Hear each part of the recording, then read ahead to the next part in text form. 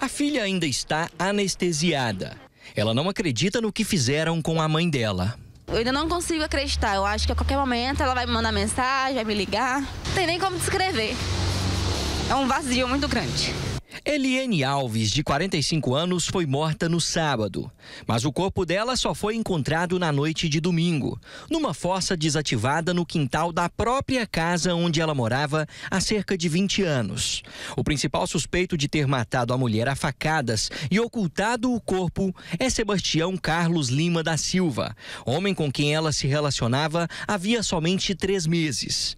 A família pouco sabe sobre ele. Os dois se conheceram numa rede social social da internet. Ele é do estado do Maranhão. A investigação inicial aponta que ele tem histórico de agressões contra a mulher, tanto que já respondeu a processos com base na Lei Maria da Penha. Desde o último sábado, quando Eliane foi morta, Sebastião Carlos teria sumido. Inclusive, segundo vizinhos, ele teria até deixado a kitnet onde morava. Só que na terça-feira ele foi preso. O suspeito estava de passagem por Santa Isabel, no estado de São Paulo, distante a cerca de mil quilômetros de Goiânia. Segundo a polícia, a intenção dele era fugir para o estado do Rio de Janeiro. O suspeito foi preso pela Polícia Rodoviária Federal. A nossa equipe em patrulhamento nas proximidades do município de Santa Isabel, já no estado de São Paulo, deparou com, com o veículo do suspeito. É, nós os abordamos, é, confirmamos a sua identidade e agora ele está à disposição da justiça. A filha agora dá detalhes do que aconteceu naquele dia. Voltei para casa em torno de uns meio-dia, meio-dia e meio. Aí eu tava me arrumando, porque eu ia sair novamente com os amigos do trabalho. E quando eu tava terminando de me arrumar, ele chegou. E nisso eu já mandei mensagem pra minha mãe: Mãe, tô saindo. E ele chegou lá em casa. Aí ela foi e me ligou, falando que ele não tinha falado para ela que estava é, lá em casa, porque ele falou que ia trabalhar até as três da tarde, mas que ia ligar para ele. Isso foi a última vez que eu falei com ela. E às sete da noite eu voltei a mandar mensagem para ela novamente e já parou de chegar mensagem. Aí nisso eu já fiquei um pouco preocupada. Quando a gente chegou na minha casa, a casa estava perfeita, tudo arrumada. Quando a gente entrou no quarto, que a minha prima viu a mancha de sangue na parede e no baú que tinha no quarto dela.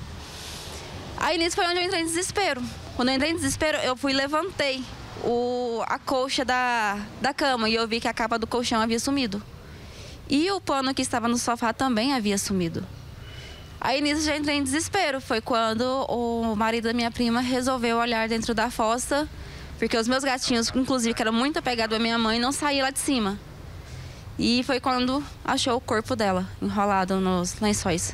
De maneira informal, ela soube que Sebastião Carlos disse aos policiais que nunca se relacionou com Eliene, mas as fotos dos dois juntos derrubam a versão dele. Ele alega que não conhecia minha mãe e não tinha nenhum envolvimento com ela.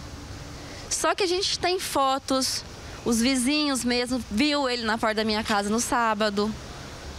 Então, provas é o que a gente mais tem que ele havia um envolvimento com a minha mãe. A família quer saber o que aconteceu inclusive se o suspeito teve ajuda de alguém para cometer o crime. Minha mãe, ela era um pouquinho gordinha, ela era pesada. E a tampa da fossa era pesada.